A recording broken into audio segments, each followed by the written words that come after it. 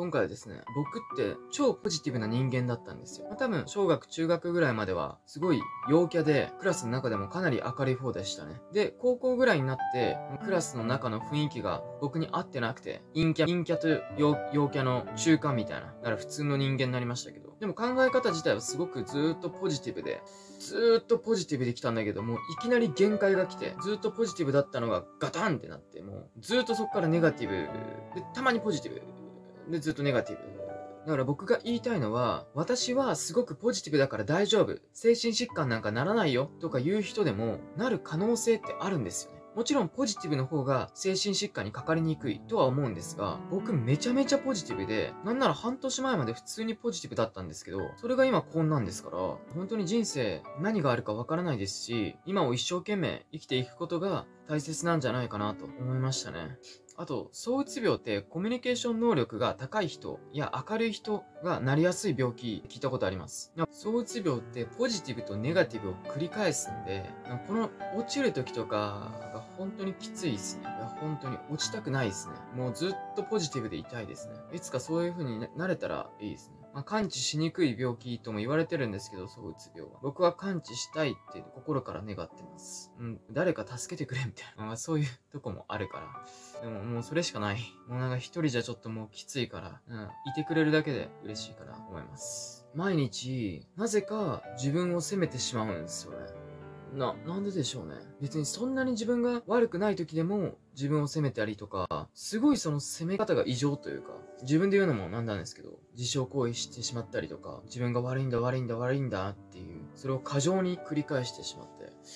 なんでこんなに自分を責めてしまうんだろうって思います。多分誰か一緒にね、一喜一憂とかできる人がいればいいんですけど、誰もいないので僕、ずっと一匹狼でやってきたので、なこういう時にきついんだなっていう、それが出てしまいました。仲間っていいよな。仲間欲しいですね、僕はね。なんなら友達欲しいですね。別に恋人もいないんで、まあ、恋人ネットで募集するのは怖いんで、控えますけど、欲しいですね。多分、本当に信頼できる友達とかがいれば、こういう時、一緒に乗り越えていくんでしょうね。でももう僕はもうずっと一人で一匹狼でやってきたので、うん、こういう時誰もいないんですよ。自分がまさかこんな落ちると思わなかったし、こうなるとも思わなかったから、やっぱ想定外のことが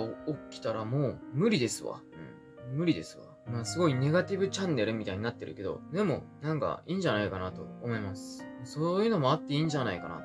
思います。多分絶対僕と似たような場所にいる、状況にいる人はいると思うんですよ。全国のどこかに。居場所もないし、寂しいし、怖がりだし、どうしたらいいかもわかんないし、っていう人はいると思うんですよ。だから、まあそういう人がこういうのを見て、ああの人も頑張ってるんだ、頑張って生きてるんだ、私も、頑張って生きようって思えてくれたらいいですね。結果的にはポジティブな考え方ですけどね。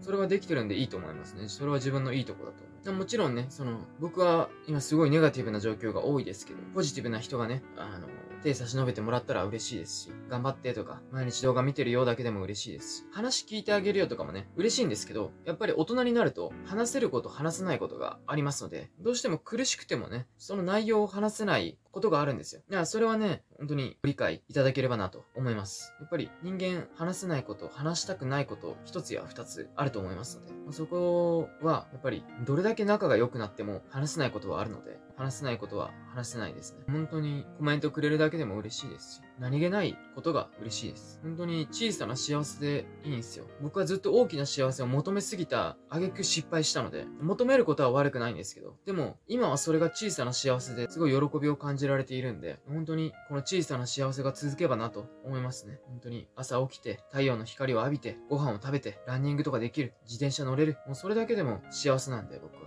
もうそれ以上の幸せ求めてないので、それ以上の幸せ求めてないって言ったら嘘になりますけど、なんだったら彼女欲しいですし、幸せになりたいなと、そろそろ僕ももう28歳なので、もうそろそろ幸せになりたいなとは思うんですけど、まあそれは僕が相手でいいのかなって思っちゃうし。こんな僕でいいのかなとか、すごい思っちゃう。俺じゃダメでしょって思ったり、自分を責めたりするんで。うん、そこはちょっとまだ俺でいいのかなって思っちゃいます、もう髪もないですしね。ハゲハゲ言われてきたんですけど、ずっと。じゃ本当にハゲてるんですよ。動画じゃちょっとわかんないですけどね。小さな10円ハゲがいっぱいあるんですよね。なんかもう、ストレスをちょっと溜め込みすぎてて。やっぱ溜め込みすぎると良くないですよ。なんか発散の仕方がわからなくなっちゃいました。自分に溜め込んで自傷行為するとかね。そんな悲しいのはもうやめたいですね。うん、はい。もうやめたいですね。